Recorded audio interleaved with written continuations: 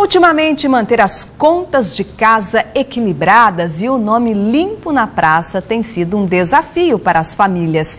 E para não ficar com a corda no pescoço no fim do ano, tem gente que está procurando pagar as dívidas. Em Rondonópolis, houve queda no número de inadimplentes.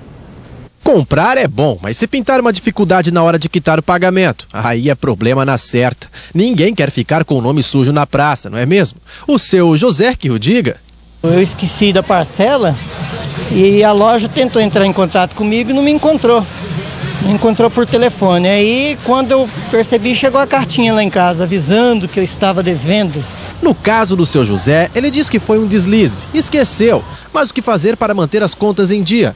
O segredo é ver o salário do mês, né?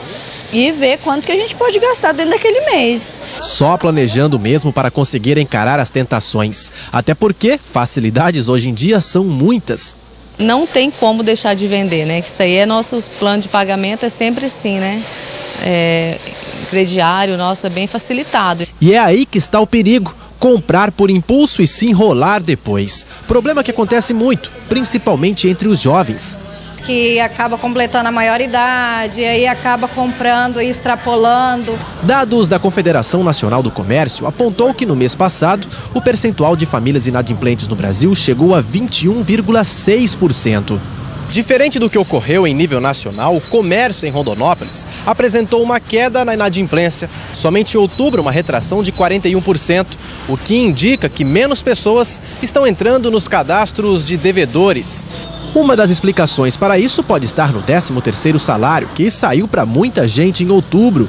Eles geralmente usam esse, esse 13º para já pagar as contas antigas, limpar o nome, que é para comprar o final do ano, né? Quem não pretende mexer nesse dinheirinho extra que agrada tanto é o seu Pedro. Ele sempre pensa duas vezes antes de comprar qualquer coisa, planeja os gastos e paga todas as contas em dia.